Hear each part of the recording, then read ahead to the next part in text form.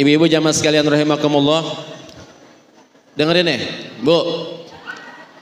Kalau yang anggota pengajian Rabu pagi yang lama tahu yang namanya almarhum almaghfurlah Kiai Haji Dahlan. Ada di buku ini. Saya tawasulin tiap Rabu pagi dan hari eh, dan malam Rabu. Beliau tidak bisa naik motor, maka diantar oleh cucunya yang sekarang berada di samping saya.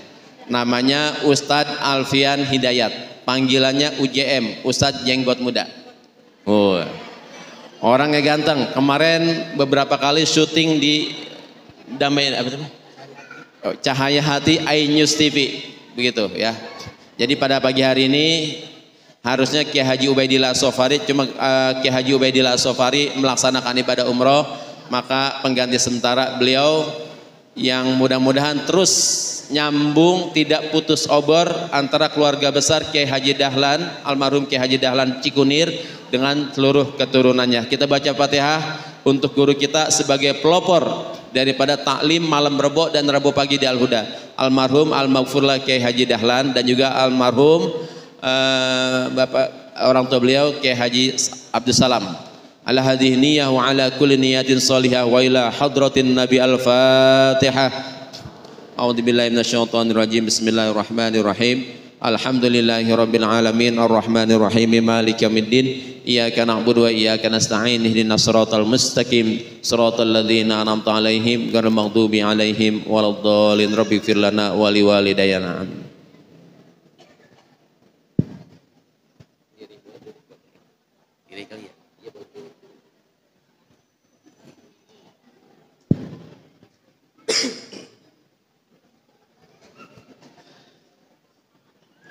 Assalamualaikum warahmatullahi wabarakatuh.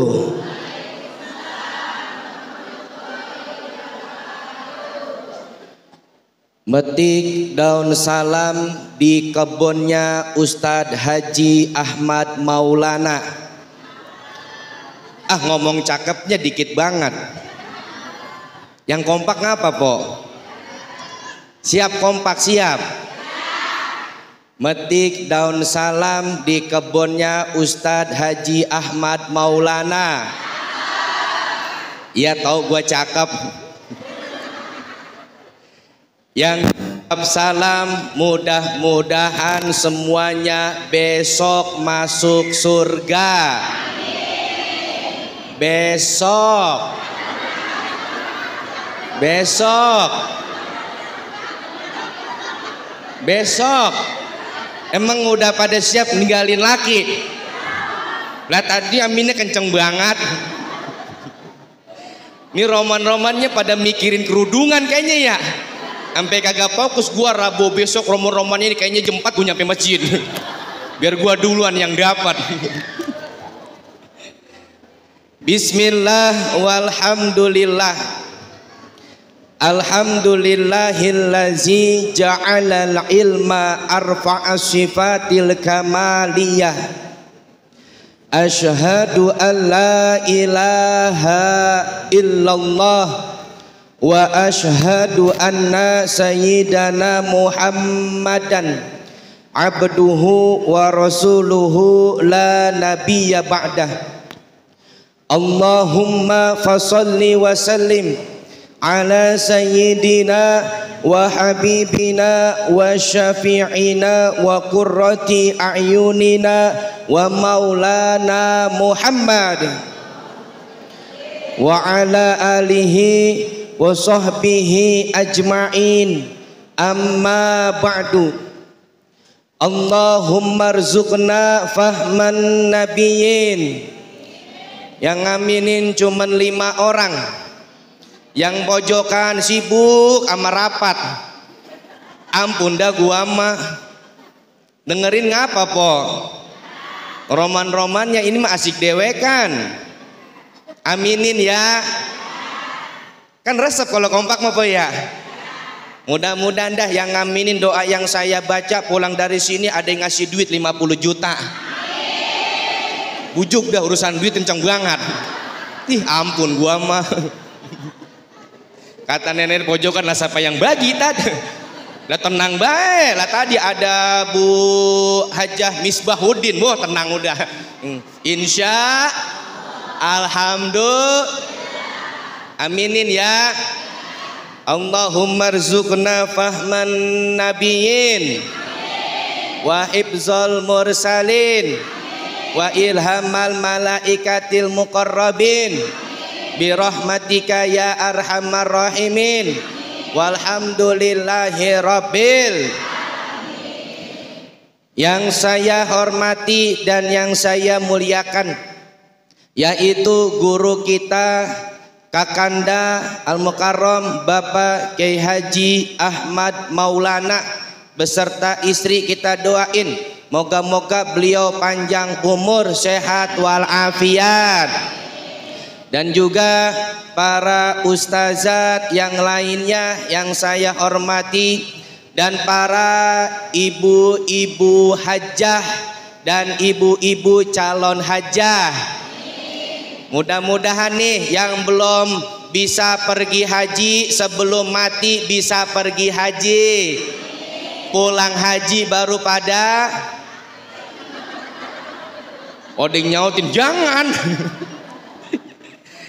pengen bu pergi haji udah daftar dan siapa yang ngajak cuman kan tadi kan udah didoain bareng-bareng sama Ustadz Haji Ahmad Maulana biar semuanya bisa pada berangkat ya Pokoknya mabu yang penting kemauannya kencengin, ikhtiar kerjain, insya Allah nyampe ke sono.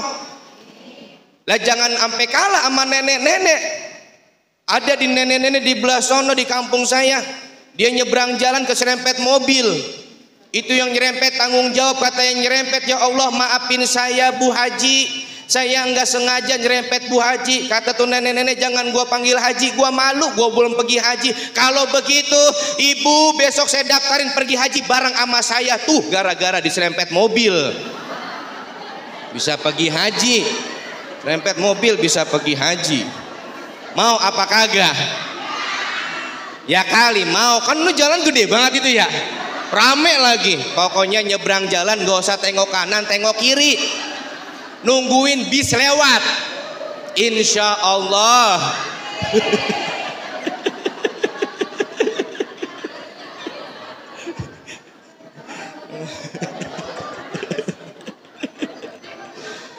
Wah ada po tukang bayam bisa pergi haji.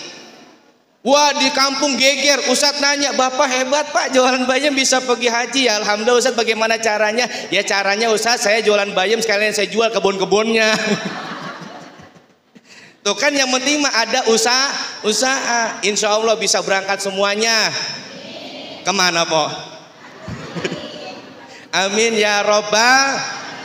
Dan juga hadir sahabat saya Yaitu Al Mukarram Bapak Ustadz Ahmad Hendriana yang belum lama beliau ditinggal oleh istrinya kita doain moga-moga diberi ketabahan oleh Allah Subhanahu wa taala dan segera mendapat gantinya. Wow, diaminin loh. Lagi jadi duren Bu beliau. Duda keren. Ada di sini jamur. Ada gak? Apa Ustaz jamur? Janda di bawah umur. Lah berkah, berkah punya laki ustad mah berkah. Berkah banget apalagi bulan mulut, bulan Rajab, bulan Muharram. Itu di rumah kok kalau jadi bini ustad jarang masak. Emang apa ustad? Wah makannya berkat sama besek. Apalagi yang namanya kulkas mah nggak bisa ketutup pintunya nggak bisa. Mm -mm. Oh kebanyakan buah bukan engselnya somplak. berkah apalagi kemarin yang corona po wah itu kan pasaran mati lagi laku. Se RT sehari mati sampai tiga. Besok ada yang mati lagi nyusul. Wah sampai jadwalin tahlilan sampai ribet banget. Saking banyak yang mati. Asal dengar burung titutit titutit Ustadz ada kontak Amil. Mil ngapa tad? Oh no burung bunyi. Wah proyek Eh besoknya panjang suaranya titutit titutit titit titit titit titit. Kata si Ustadz, Mil, ngapa tat? Panjang suaranya. Orang kaya tat yang mati. Eh pas diumumin di musola genengan yang mati mertuanya si Amil. Berkah pokoknya punya laki Ustadz mah. Alhamdulillah. Segenap para ibu-ibu yang dirahmati oleh Allah Subhanahu wa taala. Tadi beliau sudah menyampaikan bahwasanya saya kalau kemari itu pasti berasa sedih, Pok. Emang apa sih sedih? Dulu mas saya ke sini tuh tiba nganterin engkong saya dua ngajar di mari. Kalau nggak salah dari tahun 1973 ngajar di sini di masjid. Engkong saya Kiai Haji Muhammad Dahlan bin Haji Ibrahim. Emang apa? Beliau emang asli orang Pedurenan. Kong Ibrahim kan makamnya emang di sini di Pedurenan.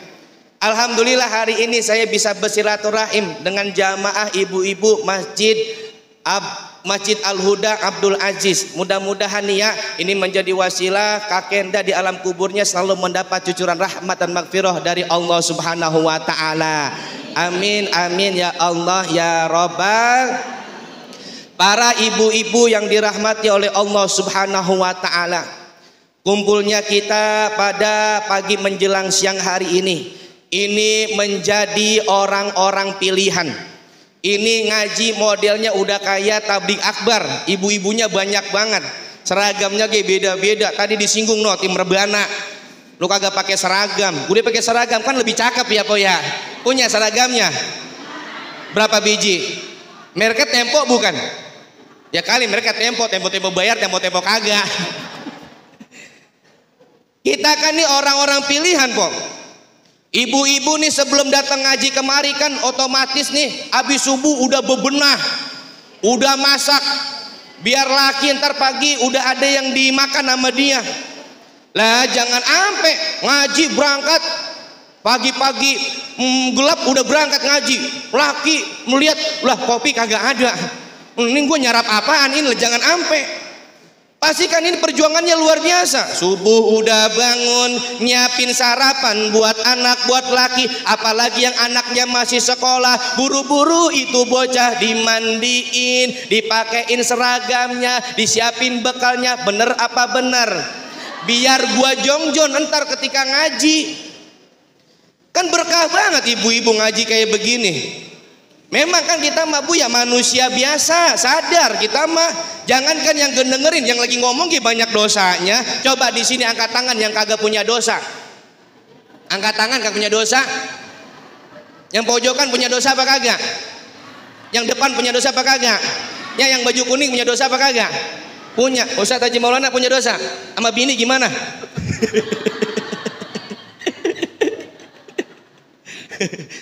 Kita sadar kan banyak dosa ya. Makanya kan ngumpul kayak begini ngaji man intaqala yata'allamu ilman ghufirallahu qabla tua. Barang siapa yang berpindah tempat untuk menuntut ilmu, Allah ampunin dosa-dosanya sebelum dia melangkah. Tuh.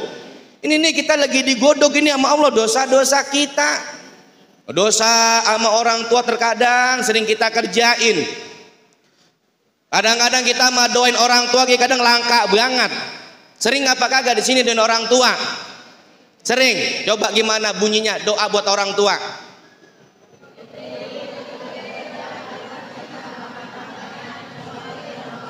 Udah kayak marah-marah bacanya.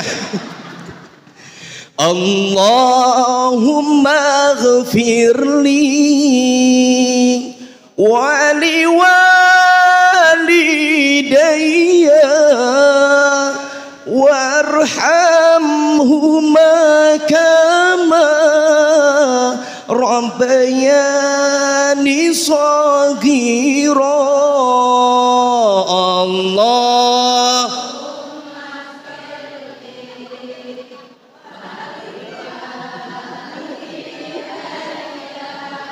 lah keder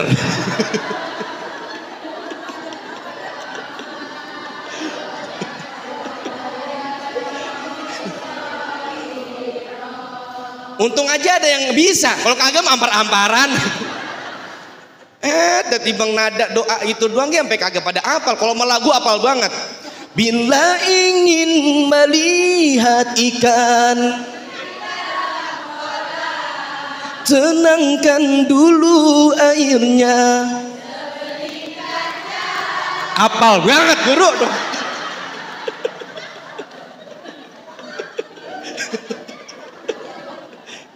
Lagu aja apal banget. Apalagi yang ini nih.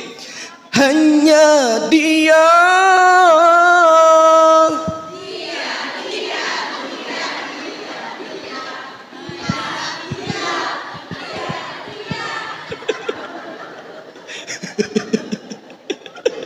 ya Allah ya Karim. Kalau mau lagu aja pada apal banget, bener-bener dah. Sama doa buat orang tua pakai nada pada keder. Ini yang baca, yang belah sini mah bener dah rada-rada lempeng-lempeng rada-rada. Eh yang belah sini repete ke salawat tibil kulub.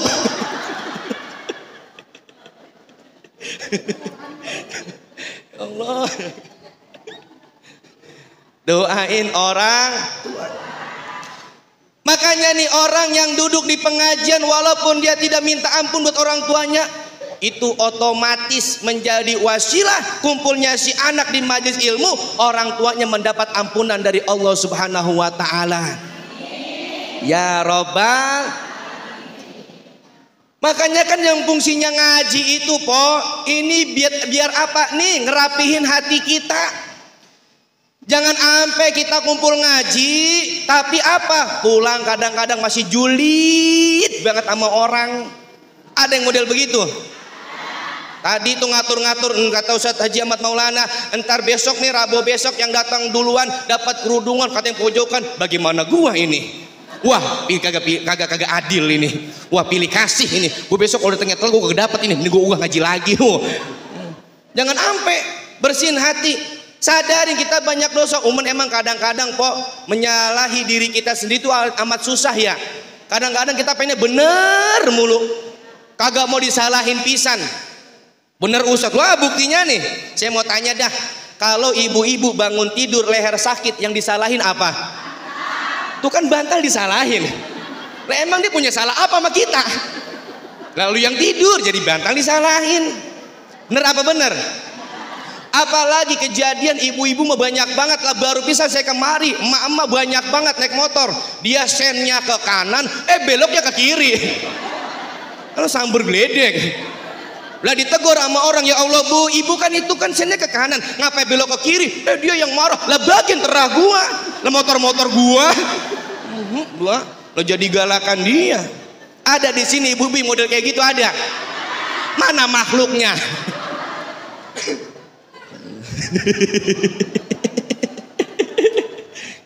Ada yang lebih parah lagi pok.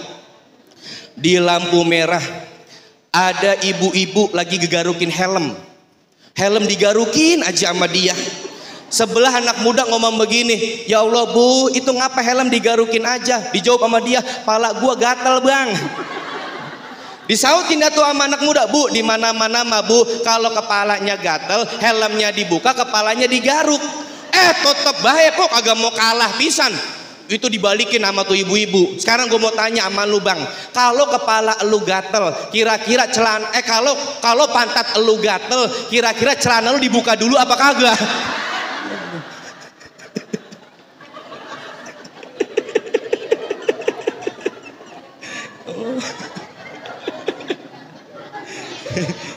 udah tawa aja tawa udah. Insya Allah dengan kita ketawa pada uh, pagi menjelang siang hari ini dapat melupakan rasa lapar kita. Saya belum nyarap belum pak belum. Di rumah minum air putih nyampe sini air putih lagi air putih lagi. ya alhamdulillah usus pada kelelep ini. ini aja belum saya buka no. Oh no, masih ada dua gelas loh. Useng di gue pulang-pulang kembung ini mah. Gak apa-apa emang rezeki saya air putih gak apa-apa. Iya emang gak apa-apa. Nasi padang deket sini po.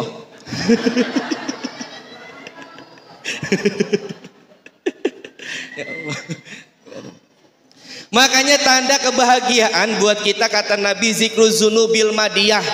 Jadi orang itu kudu inget sama dosa sendiri. Jangan sampai sama dosa orang aja diingetin mulu, bertahun-tahun diingetin mulu, dosa dewek aja dilupain. Jangan sampai ada di sini orang model kayak begitu. Roman-romannya sama dosa orang nyampe sekampung. Bu, ulah mulutnya lemes banget. Si Anu buat kesalahan, wuh nyampe ke mana-mana. Asal banyak share, Pak, lu tahu kagak si Anu begitu, Pak? Padahal jadi kompor meleduk, jangan sampai, Pak. Makanya dalam hadis baginda Nabi besar Muhammad sallallahu alaihi wasallam, Isnani la yang zurullahu ilaihi ma yaumal qiyamati. Ada dua golongan yang kagak dilihat sama Allah nanti pada hari kiamat. Maksud daripada kagak dilihat itu apa? Yaitu kagak dapat rahmat dari Allah Subhanahu wa taala. Nih dua golongan. Yang pertama adalah qati'ur yang kedua adalah wajarusui. Yang pertama, orang yang kagak dapat rahmat dari Allah yaitu orang yang memutuskan tali silaturahim dan yang kedua yaitu tetangga yang jelek. Tuh. Makanya jadi orang kudu akur, kunu ibadallahi ikhwanan, jadilah hamba Allah yang bersaudara. Tadi uh, udah disampaikan sama uh, keluarga kita, saudari kita mengenai sekarang juga karena kan musimnya politik ya po ya. Nah jangan sampai beda pilihan sama saudara cemberut. Gara-gara beda pilihan sama tetangga sampai berantem. Jangan sampai apa pun pilihannya ya udah. Kenapa? Itu pilihan masing-masing. Jangan sampai kita merasa kita tuh paling bener. Kita tuh paling baik, kita tuh paling solehah. Jangan. Jangan sampai ini terjadi banyaknya orang yang memutuskan tali silaturahim cuman gara-gara beda pilihan. Jangankan perkara yang itu, kadang-kadang tibang gara-gara arisan aja ibu-ibu pada berantem. Gara-gara seragam aja pada berantem. Pemicunya apa sih Ustadz kalau arisan kagak berantem lah si Ano, po si Ano udah keluar eh kagak nongol-nongol lagi. Ada di sini model begitu. Arisan udah keluar kagak datang-datang lagi, kagak bayar-bayar lagi.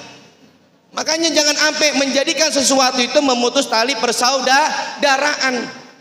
Dan yang kedua adalah tetangga yang jelek. Ini kan ada-ada baik modelnya.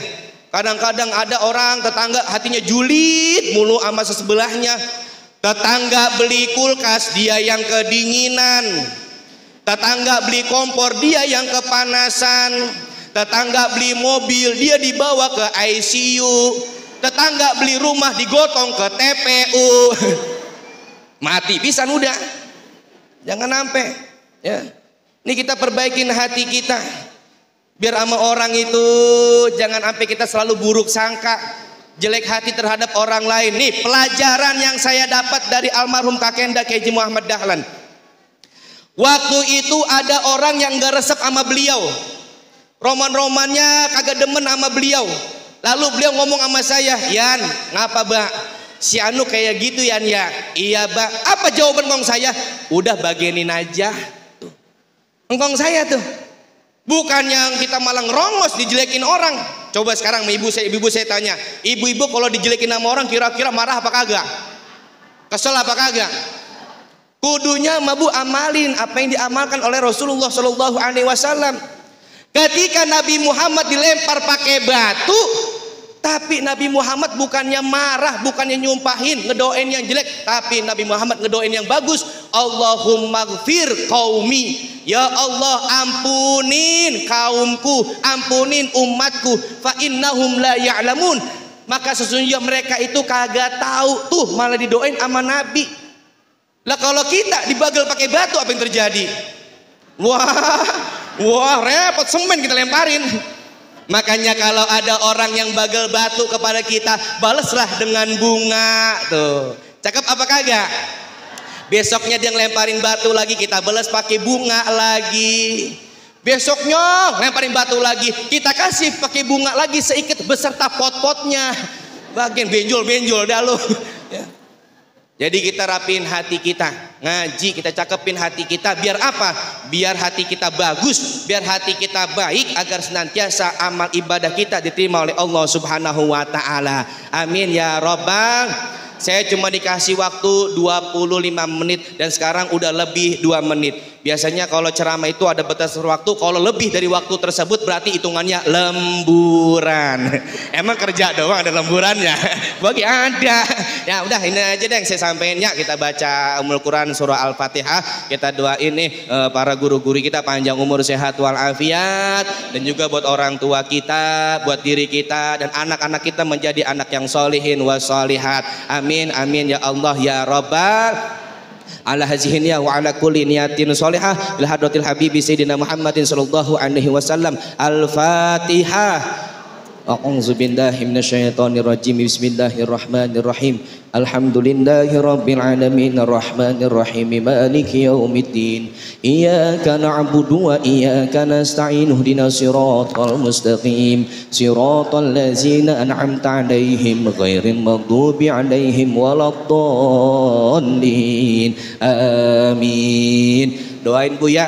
Uh, alhamdulillah saya sudah berjalan di Cahyati Indonesia, E-News TV, udah reguler Alhamdulillah dan juga ngisi SCTV dan Trans 7 dan juga jadwal doa sudah mulai padat. Insya Allah antar malam saya ke Pakalan Bambu, besok ada tablik akbar di Kerawang besok Bu, tetapi saya kagak diundang kagak. ya, ngapain gua ke sono-sono kagak diundang ya. Nah, mudah-mudahan kita semuanya diberi kemudahan, kelancaran dalam segala urusan-urusan kita. Amin ya robbal. Mohon maaf lahir dan batin. Ntar kalau ada yang mau nanya silakan kalau saya nggak bisa jawab nanti Ustadz Maulana yang jawab. Ya beliau kan yang suka di Trans TV yang Islam itu indah Ustadz Maulana yang jamaah. Ya sama kan namanya ya? Iya wassalamualaikum warahmatullahi wabarakatuh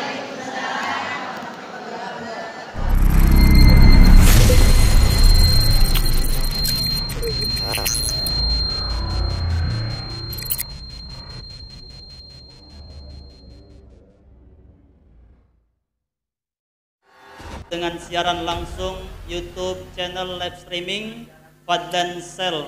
Jadi setelah acara nanti bisa ditonton kembali, dilihat kembali di YouTube channel Fadlan Sel dan jangan lupa untuk like, komen, subscribe untuk membantu siar dakwah agama Allah Subhanahu wa taala.